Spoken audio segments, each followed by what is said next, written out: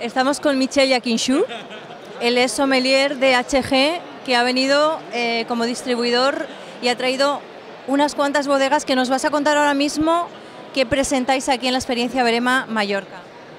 La verdad que quería participar antes mucho, pero nunca estaba seguro en selección de la empresa. Entonces, el año pasado he dedicado mucho tiempo para seleccionar vinos y cubrir más o menos toda la gama de productos que están buscando sommelier y restauración.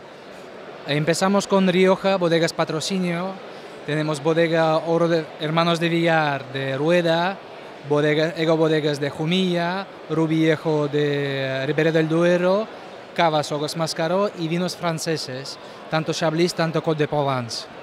Y la verdad que estoy muy orgulloso porque no solo por, por estar hoy aquí, también es resultado de labor muy dura que he llevado más o menos dos años, sacando de cada región productos premios, pero calidad y precio, por el precio no súper alto.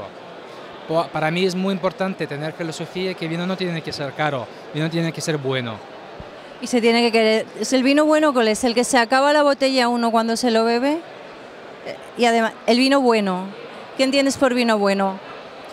Cada uno tiene su gusto, pero yo prefiero uh, que cuando mis clientes abren la botella, le invitan a beber más, no comer, no matar el sabor al vino, pero beber una, otra, tercera. Para mí ese es buen vino. Para mí es muy importante que vino puede existir aparte de la comida.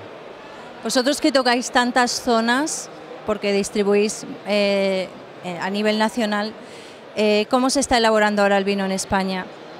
¿Cómo está elaborando?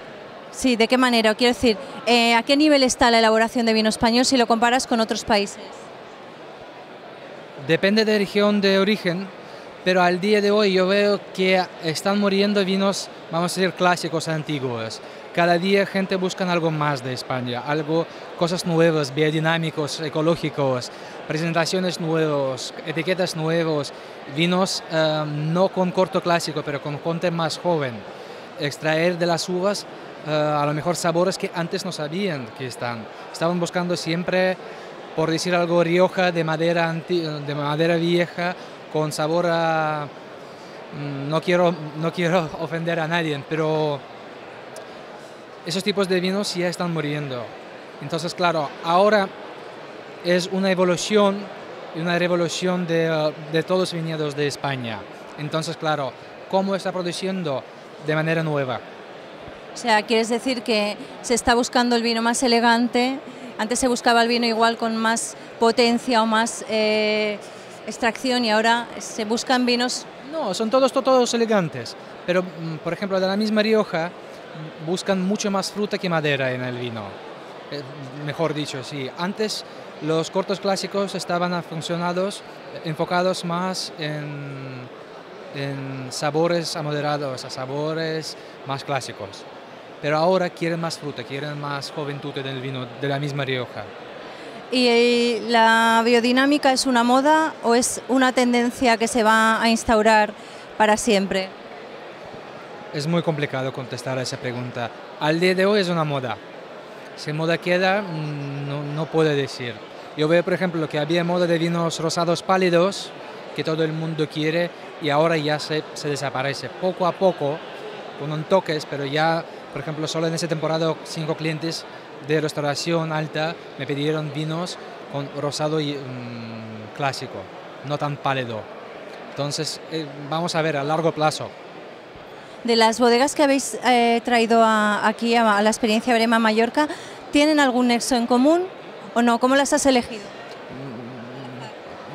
Nosotros tenemos un proceso de descubrimiento bastante interesante, porque al principio lo introducimos en la biblioteca que tenemos y se, se, aprueba un año de aprobación del cliente final, es decir, cliente vuelve por esos vinos, nosotros empezamos a distribuirlo en territorio de Mallorca.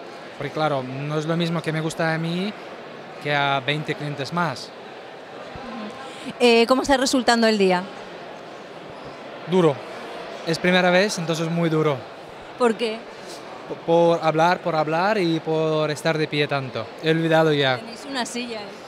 Sí, pero ¿cuántos clientes, cuántos clientes no puedes sentarte ni cinco minutos? Bueno, a mí me gusta que digas eso porque eso quiere decir que no habéis parado en todo el día, que la tarde va a ser también dura y espero que os volvamos a ver pronto, ¿no? Sí, sí, sí. Muchísimas gracias por tenerlos aquí. Gracias a vosotros por venir. Gracias.